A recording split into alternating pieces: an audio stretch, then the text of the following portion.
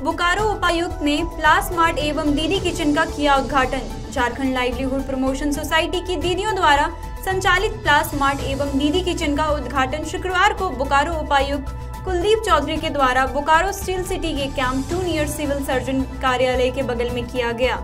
इस अवसर पर विकास आयुक्त जय किशोर प्रसाद, जिला जनसंपर्क पदाधिकारी राहुल कुमार भारती जेएसएलपीएस डीपीएम श्रीमती अनीता क्रिकेटटा सहित अन्य उपस्थित थे। बोकारो से विजय आनंद की रिपोर्ट। क्या है? आज पलाश मार्ट जो जिला मुख्यालय में हम लोगों का सेंटर चालू हुआ है पूरे ज़िले भर में इस तरह के पलाश मार्ट केंद्रों को संचालित करने का क्रियान्वित करने का लक्ष्य हम लोग लेकर चल रहे हैं। माननीय मुख्यमंत्री जी की जो सोच है और ग्रामीण विकास विभाग का जो परिकल्पना के आधार पर कार्य पूरे राज्य स्तर पर किया जा रहा है। बोकारो जिला में भी पलाश मार्ट पहले से संचालित है और अभी तक इससे जुड़ी हुई हमारी जो सखी मंडल की जो समूह की महिलाएँ हैं, उनके द्वारा 25 लाख से भी अधिक का विनिमय अभी तक कर लिया गया है।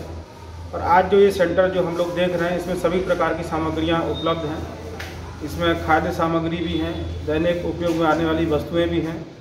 और भी चीज़ों को इसमें हम लोग जोड़ रहे हैं। और समय के साथ साथ हम लोग जो प्लानिंग किए हैं, कि जो यहाँ की लोकल यूटिलिटी की जो चीज़ें हैं, जैसे ग्रामीण क्षेत्रों में इस बार हम लोग सीएसआर के माध्यम से कुछ दोना पत्तल बनाने की मशीनें भी देने जा रहे हैं। उनको भी हम लोग यहाँ पर यूज़ करेंगे।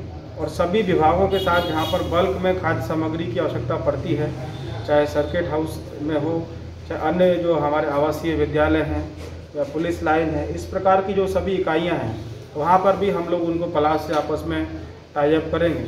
और इस क्वालिटी के साथ जो हम लोग मार्केट में भी इस प्रोडक्ट्स को अधिक से अधिक प्रमोट करने के लिए कार्य योजना तैयार कर रहे हैं, ताकि आने वाले समय में जहाँ एक और हमारे ग्रामीण क्षेत्रों में जो महिलाएँ इससे जुड़ी हैं, वो तो स्वावलंबी बने, उनको रोज़गार के अवसर पैदा हो और गुणवत्तापूर्ण जो सामग्रियाँ हैं, हम वो लोगों को मुहैया करा सकें।